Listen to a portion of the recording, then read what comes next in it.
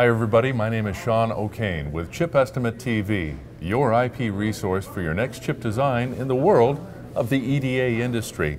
We're here at DVCon 2011, and today is SystemC Day. My guest is Shishpal Ruat, Ruat, excuse me, um, the Director of Business Enabling Programs with Intel, and you're the chair of Accellera as well. That's right. It's a beautiful thing because Accellera just recently announced the approval of the Universal Verification Methodology known as UVM as a standard.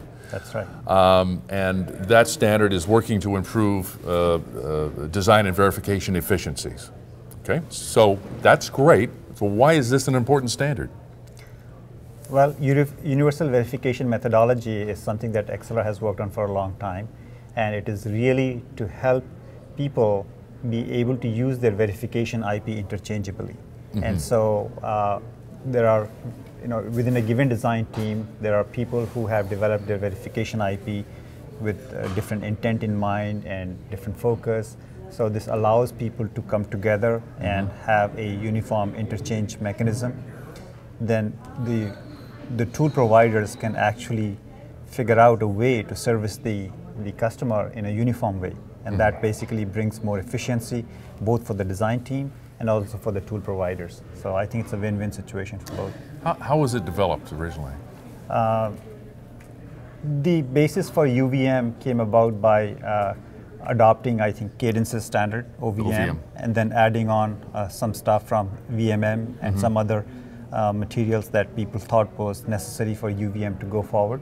So they uh, took all this material from a variety of places, and that was good that the industry was able to donate different pieces to make it happen. Over 100 people worked on the standard and uh, just concluded uh, bringing it to life, and the, the board was happy to, to approve the standard when it all came together. Okay, yeah, and so talk a little bit about some, a few of the benefits of the UVM standard. Just a few of, of the benefits, for example, for small companies. How, how does that, how, how would it uh, benefit smaller companies? I think the smaller companies will benefit by, by being able to use the IP interchangeably. They won't have to spend enormous amounts of design effort to, to reinvent their IPs and make it suitable for working, say, in mm -hmm. a Cadence environment or a mm -hmm. Mentor environment or a Synopsys environment. Mm -hmm. So the, the, the choice of tools would not be as relevant. The, what the choice that would really be relevant is how well is their methodology supported mm-hmm. by the various suppliers out there. So if somebody does a great job on memory, mm-hmm. they'll probably use that one for their memory intensive jobs. If somebody does a really great job on handling registers and stuff mm-hmm. like that, then they, they're going to go and use uh, uh, a, a, supplier who can actually uh, make their make their environment run very efficiently. So, so mm-hmm. adoption is coming along.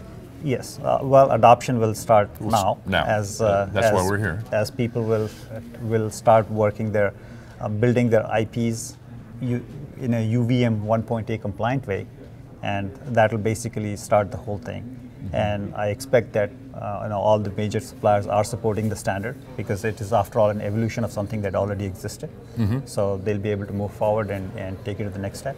Share with our audience what is next on the roadmap for Accellera. So Accellera is in the business of developing a lot of system level standards. And recently we merged with, with uh, Spirit Organization. Mm-hmm. And so we are taking the next step with all the uh, mechanisms that are in place for uh, IP interchange, which is uh, IP-XACT, uh, SystemRDL, mm-hmm. and IP tagging. So those are some of the areas that we'll be working on next and, and trying to bring new standards to the community. Well, thank you very much for taking the time to, to join us today. Thank you very much. All right. It's a pleasure Ladies talking to you. Well, thank you. Shishpal Rawat, uh, Director of uh, uh, Engineering Enabling Programs with Intel, and he's the chair of Accellera. She's here today, and of course, running the show. there's a lot of other people running well, the show. Well, there's really, yeah. But, so we uh, really appreciate you being here. Uh, my name is Sean O'Kane. We're going to see you next time on Chip Estimate TV. Thanks. Thank you. All right.